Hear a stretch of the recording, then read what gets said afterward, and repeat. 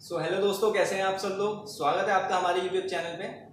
और आज मैं आपको बताने वाला हूँ कि एसएससी के द्वारा अभी अभी अनाउंस किया गया है उनके एग्ज़ाम कैलेंडर पे कि एसएससी की जो 2019 सीएचएसएल की जो वैकेंसी आने वाली है उसकी नोटिफिकेशन आपकी दिसंबर में रिलीज़ होगी।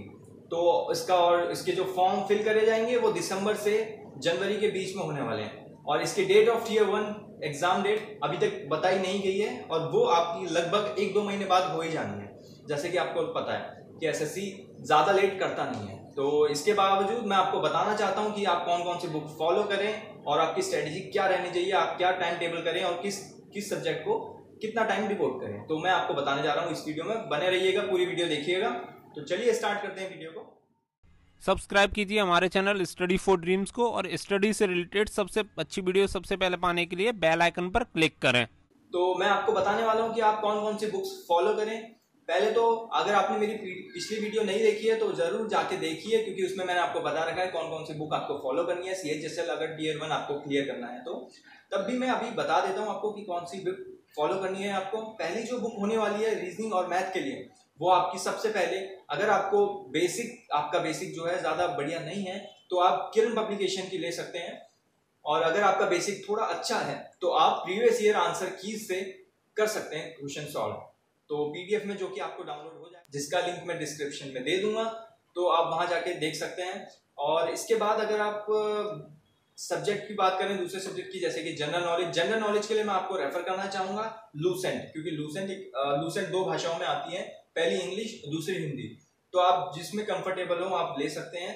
मैं तो अगर अगर अगर किसी की इंग्लिश लूसेंट से बाहर पहले तो कुछ भी नहीं आता। लूसेंट जो है आपके C H S L C G L के लिए सबसे बेस्ट बुक है अगर आप मार्केट में जाएँगे तो। उसके बाद बात पड़ती है कि इंग्लिश हम कहाँ से पढ़ें? इंग्लिश के लिए सबसे अच्छी बुक है। मैं किसी को वैसे तो रेफर करना नहीं चाहूँगा पर जिससे मैंने पढ़ाई की वो थी आपकी पैरामाउंट कोचिंग की। एक बुक आती है प्लिंग टू पैरामाउंट जो कि बेसिक लेवल से काफ़ी अच्छी बुक है। मार्केट में इससे अच्छी बुक तो नहीं है। अगर आप इससे भी एडवांस है अभी या, या तो आपने इसको भी अच्छे से पढ़ लिया है दो तीन बार तो आप एस पी बख्शी की बुक पढ़ सकते हैं, क्योंकि वो बहुत एडवांस बुक है, वो बैंक के और बाकी पेपरों के लिए भी बहुत इंपॉर्टेंट है।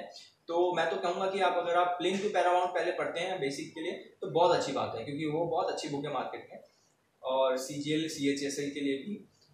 तो ये है कि आप बुक कहाँ से फॉलो कर सकते हो, कहाँ कहाँ से सोर्स ले सकते हो। अगर आपको कहीं और से सोर्स लेना है तो वो भी आप ले सकते हो, आपकी मर्ज़ी है। और इसके बाद मैं आपको बताना चाहूँगी कि टाइम कैसे आप मैनेज करें इसमें।